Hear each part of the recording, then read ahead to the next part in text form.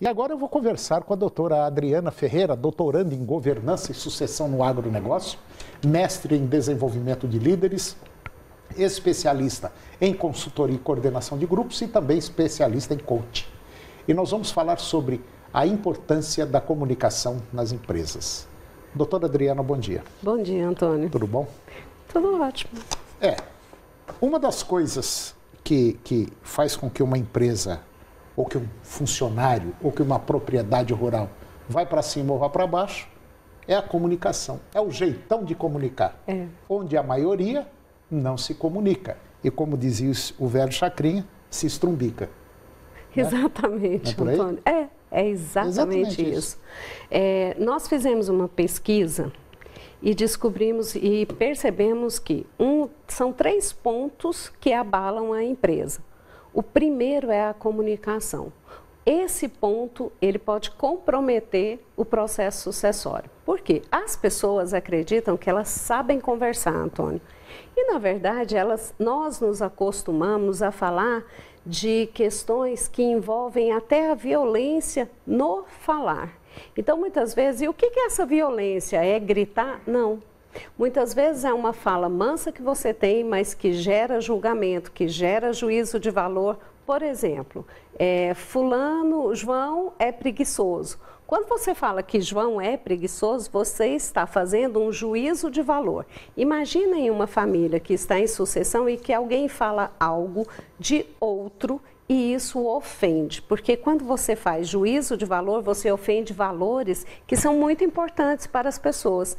Então, o que acontece? A comunicação é fundamental. Trabalhar a nossa forma de comunicação, trabalhar o que falamos, como falamos, o tom de voz, é essencial no planejamento sucessório. É, e do outro lado, precisa ver se a pessoa também tem condição ou capacidade de entender O que você está falando, o né? que você está falando, Sem né? dúvida. E que geralmente não tem. É, Porque quando- ela já vai com a barreira, né? Ela já vai preparada para o seguinte, se falar qualquer coisa eu já... Exatamente. É assim que funciona. E aí, se o outro tem uma comunicação adequada, sem essa violência nas palavras, sem fazer julgamento, fazendo observações e não avaliações, faz com que o outro esteja aberto, não entra na defensiva, sabe, Antônio? Então, nós precisamos hoje trabalhar a nossa comunicação. E como que chama isso? Comunicação não violenta, que foi um método criado por um Marshall Rosenberg e ele trabalhou no mundo inteiro, em especial mediando grandes conflitos. Então, se nós começarmos a trabalhar a nossa comunicação hoje, para adequar ao planejamento sucessório e as outras questões dentro da empresa, com certeza nós temos um ambiente melhor. Por quê? Porque a fala gera ação. Todas as vezes que nós falamos, existe uma ação que vem depois da fala. E esse é que é o complicado. Se você fala agressivamente ou se você fala acusando alguém, em seguida, ou a pessoa parte para uma defesa ou simplesmente ela foge do assunto. É, queira ou não, é a lei da ação e reação. E reação. Só que a gente não sabe que jeito que o outro vai agir. É. Às vezes o outro afasta, abaixa a cabeça e fica quieto, mas ele está armando uma baita de uma paulada que vem logo em seguida. Sim, né? porque ele é, é a Aí já ditadura começa da a coisa resposta. não dá certo. A coisa Sim. já começa a não andar. E as pessoas têm, Antônio, é, a ditadura da resposta. Se o fulano falou, eu tenho que responder. Por quê? Né? A gente tem que perguntar: eu vou responder? Por que eu vou responder? Como eu vou responder? E qual o que me motiva a dar uma resposta? Doutora Adriana, tem um ponto interessante que eu acho. É o seguinte, até estava falando agora nos bastidores aqui. É, às vezes você tem um, tem um funcionário e às vezes o funcionário não faz aquilo que você está querendo que faça. E às vezes você não comenta com ele, não fala nada. Você vai acumulando aqueles problemas e vai adquirindo uma certa raiva da pessoa e uma hora você fala mais ou menos perto dele, ou para ele escutar, ou você nem quer que ele escute. Pô, esse cara é ruim de serviço, esse- essa pessoa não serve, está querendo me tapear, enfim, fala qualquer coisa. É aí que mora o perigo e é aí que a bomba explode. Exato. E isso é muito comum, né? É. As pessoas, elas não conversam a tempo. E tem medo. Tem medo da fala.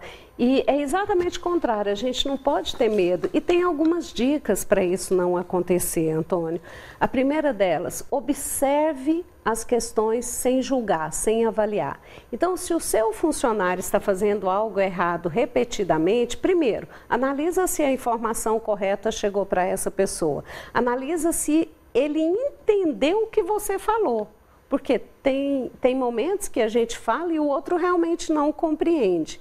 Depois disso, veja qual é a necessidade que você tem de falar aquilo novamente. É preciso? É. Então, olha para essa necessidade e olha o sentimento que está movendo você. Se você observar isso, a raiva diminui. Diminui. Porque você vai entender o que está acontecendo. E não vai ter conflito. E não vai ter conflito. E outra, você aprende a falar com ele no momento certo. As pessoas que deixam esse acúmulo de emoções e que depois ela vem na comunicação de uma forma muito ríspida, elas têm conflitos o tempo inteiro.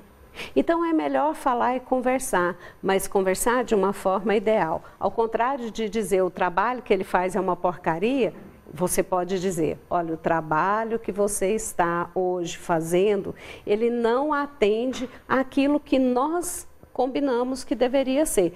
É mais difícil, Antônio, sem dúvida nenhuma, trabalhar a comunicação, falar de uma forma é, melhor com o outro, tendo empatia, compaixão e generosidade, dá trabalho. É, um dos problemas quando a gente fala também é falar para uma pessoa, ele ouve, mas não entende. Sim. Sim, Entendeu? e é comum isso. Isso tá assim, ó, cheio.